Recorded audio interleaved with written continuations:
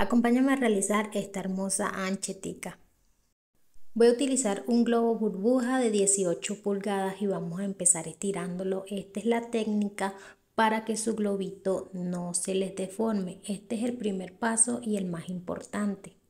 Tienen que estirarlos en las puntas, en el centro, en la boquilla, por todas partes.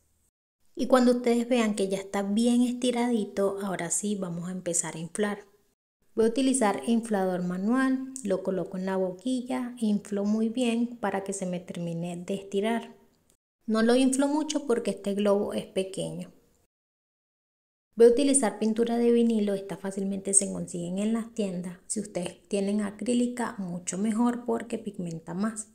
Pero igual las dos funcionan muy bien. Por acá lo que estoy haciendo es quitar el excedente de pintura esta jeringa es pequeña, lo que hago es colocarle pintura un poco más de la mitad y la voy a llevar poco a poco por la boquilla hasta llegar al final.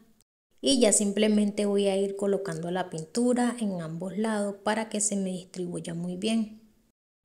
Ahora lo que hago es retirar y con la ayuda de los dedos voy a ir dándole palmaditas o golpecitos para que se distribuya muy bien la pintura. Para la parte de abajo le voy a colocar pintura blanca, hice el mismo proceso como hicimos con el azul y lo que voy a hacer es ir colocándolo en la parte de abajo. Acá se los muestro un poquito más rápido ya que es el mismo proceso como hicimos en la parte de arriba. Ahora sí vamos a inflar nuestro globito y miren cómo se va viendo ya de bonito y cómo se unieron los dos colores. Lo mejor de todo es que esto lo puedes hacer del color de tu preferencia. Ahora vamos a voltear nuestro globito, vamos a darle bastante vueltica para que no se nos salga el aire. Y ahora sí le vamos a hacer su primer nudo, que les quede bien fuerte, ya saben, para que no se les salga el aire. Y yo por seguridad le hago un segundo nudito. Una vez lo tengan de esta manera, yo le voy a colocar pintura doradita por todo el bordecito donde está el blanco y el azul, guiándome de toda esa línea para que tenga un bordeadito bonito. Incluso si tú tienes la laminita que es dorada o plateada, se la puedes colocar y se le vería súper bonito. En este caso yo no lo tengo y por eso lo hago así. Pero la verdad me funciona muy bien y así vamos a ir haciendo por todo el alrededor de nuestro globito. De esta manera quedó, la verdad me encantó muchísimo, se ven bonitos los colores y esa combinación de dorado quedó perfecto. Voy a utilizar esta bandeja que mide de largo 27 y de ancho 14, la verdad es súper bonita, le vamos a abrir sus paticas y queda de esta forma. Le voy a colocar icopor en la parte de adentro para que me pueda sostener la cervecita y los dulcecitos. Esta como no es tan honda, simplemente voy a utilizar una laminita de icopor. Voy a empezar por la cerveza, estas son coronas pequeñas y voy a utilizar cuatro. Ustedes pueden colocarle la bebida de su preferencia, simplemente le coloco silicón en la parte de abajo y las voy pegando. Una vez ya tengan sus cervecitas ubicadas, ahora voy a decorar la parte de adelante de la caja, voy a colocar silicón y voy a pegarle la cinta.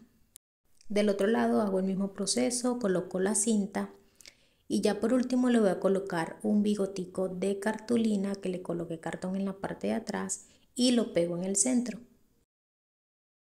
Ahora sí voy a empezar a colocar los dulcecitos. Primero voy a colocarle estos bombones en la parte de adelante y para la parte de atrás también continúo colocándole más dulcecitos, los voy distribuyendo de ambos lados y que se vean bonitos y del mismo nivel.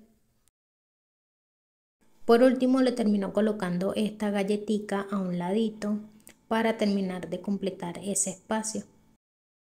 Ya el globito se le secó la pintura por la parte de afuera, ahora le voy a colocar su portaglobos. Lo vamos a introducir donde está el agujerito y vamos a enrollar la boquilla de esta manera. Que les quede bien prensadito tanto al globo como la boquilla para que no se les mueva.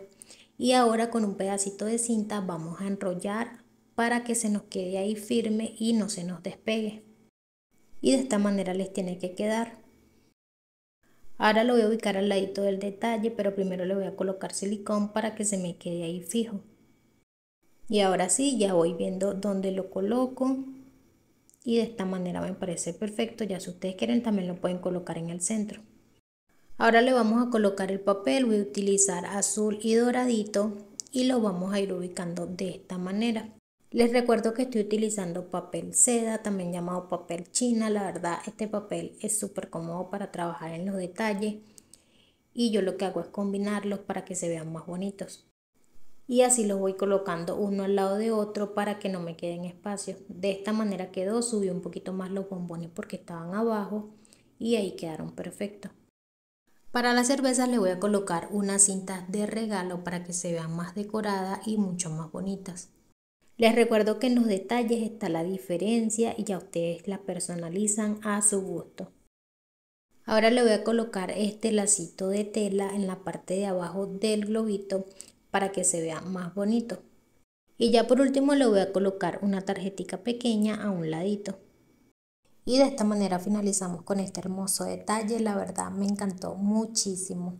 Y lo mejor de todo es que lo puedes adaptar a cualquier fecha especial. Espero que te sea de gran utilidad, que lo pongas en práctica. Si fue así, déjamelo saber en los comentarios que los estaré leyendo y no te olvides en compartir, darle like y nos vemos en un próximo contenido.